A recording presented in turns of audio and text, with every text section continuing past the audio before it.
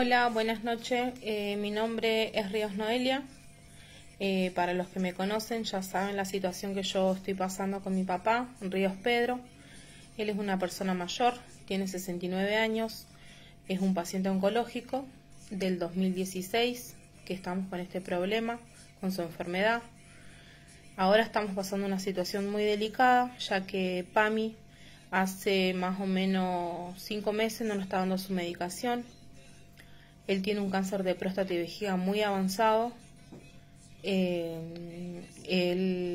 su medicación no llega.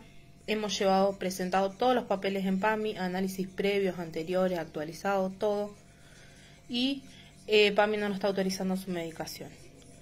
Lo que yo quiero que a través de este video se difunda o que alguien nos pueda ayudar con su medicación. Hacen tres días que nosotros venimos en la guardia con él. Él tiene una talla. Una talla sería, es una manguera que va directamente a la vejiga, que lo hace orina por ahí.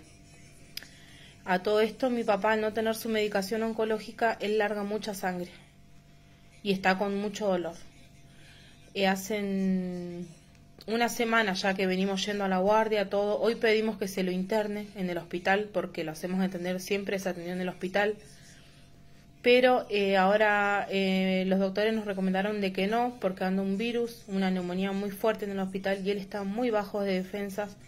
Hace aparentemente los cinco meses que no nos llega la medicación, él bajó mucho de peso, está muy bajo de defensas, así que decidimos no internarlo. Tampoco podemos estar con él acá en casa con dolor. A todo esto él en las noches no duerme, está con dolor, está con morfina, pero si no tenemos la medicación de él, esto va a seguir. Entonces yo quiero que alguien llame a la radio, le mandé mensaje al intendente y nadie me da una solución. Fui al juzgado de paz para hacer un recurso de amparo y no me dan su respuesta te van a llamar, fui, no, eh, la jueza está de, de licencia, me dijeron. Bueno, y así todo, lo mismo que en PAMI. En PAMI hemos ido semanas, semanas, semanas y no nos autorizan su medicación. Hace unas semanas atrás nos dijeron que su medicación estaba autorizada. La mandamos a la farmacia del pueblo porque por ahí es mucho más rápido allá que acá. Y de la farmacia del pueblo nos llamaron y nos dijeron que la medicación no estaba autorizada. ¿Por qué? porque en la autorización se equivocaron con una palabra. En vez de poner autorización, pusieron observación. A todo esto, hace una semana que seguimos esperando que ese papel se corrija y no se corrige. Eh, yo quiero eh, que este video por ahí pueda llegar a alguien que nos pueda ayudar eh, de forma, em, no sé si de que alguien pueda llegar a hablar con PAMI, algún abogado, o que el mismo, el mismo intendente me pueda responder un mensaje, porque yo le mandé todo al intendente de acá de Cutralco y no tengo una respuesta.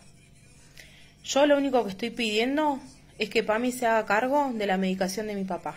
A mi papá todos los meses le descuentan su obra social.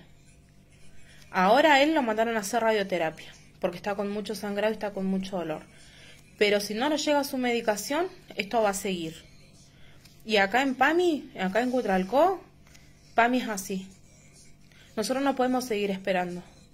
Porque mi papá ya bajó mucho de peso, está con mucho dolor. Y yo creo que a nadie le gustaría ver a su padre así. Por eso hago este video para que pueda llegar a alguien, algún abogado, alguien que me pueda dar una mano, ayudarme. Porque tampoco contamos con la plata necesaria para pagar un abogado y que nos haga, que nos ayude a, demandar a PAMI. Porque en estos meses mi papá se nos vino mucho abajo y al no tomar su medicación, el cáncer se desparrama, empieza con metástasis. La gente que me conoce sabe lo que nosotros estamos pasando en este momento.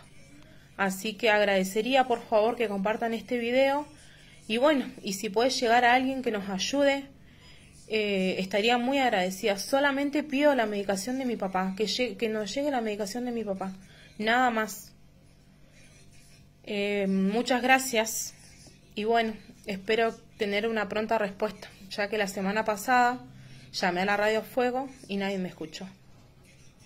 Así que muchísimas gracias y espero que compartan este video.